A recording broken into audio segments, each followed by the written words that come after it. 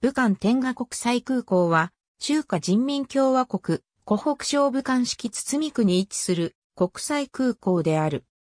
全国八大地域的中枢空港の一つ、対外開放一類口岸、国際線代替空港である。貨物運輸において、中国郵政航空の商店空港である。ここで挙げる路線は、東空港との間に週1便以上の定期便がある路線。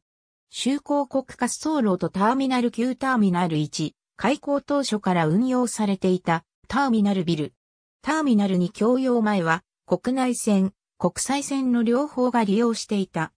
ターミナル2が共用した後に国際線ターミナルとして使用していたが、2010年10月28日から運用停止。後に空港事務所に改築した。2015年5月3日に解体工事開始。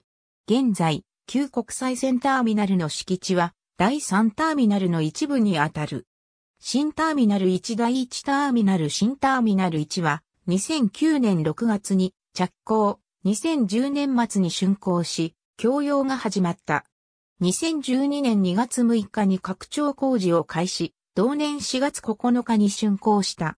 2017年、ターミナル3の運用開始に伴い、チャーター便専用ターミナルに改築する予定。ターミナル2第2ターミナルターミナル2は、2004年12月末に着工し、2008年4月15日に供用開始する。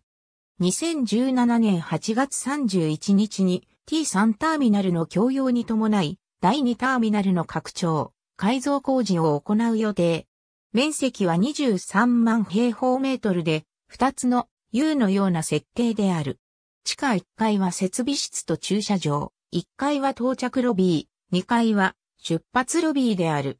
ボーディングゲートが24カ所あり、保安検査の通路が26カ所ある。ターミナルに無料 Wi-Fi が整備され、インターネット接続が可能である。ターミナル3第3ターミナル第3ターミナル、第2滑走路、総合交通センターなど含めた第3期工事は、湖北省と武漢市が合計159.59億人民元を投資して建設している。うち、第3ターミナルは T2 への連絡通路を含めて、建物面積が51.983万平方メートル。中国中部最大であり、中国4番目の空港ターミナルビルとなる。2016年12月に竣工し、2017年8月31日に開業する。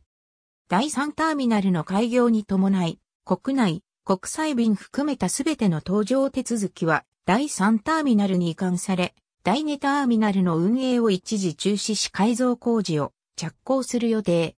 将来、第4期拡張計画として、現存第3ターミナルの北側で、サテライトターミナルを建設する予定がある。T3 ターミナルの各界別の使用状況 T3 ターミナルにある各航空会社のチェックインカウンター第3ターミナルに隣接する総合交通センターで武漢地下鉄2号線、竹高都市間鉄道、空港バス、タクシーなど交通機関が利用できる。当空港は武漢市街からの距離が 26km で複数の交通手段を利用してアクセスが便利である。2017年現在、湖北航路客運集団有限公司は東空港と市内と接続するバス路線を7本運営している。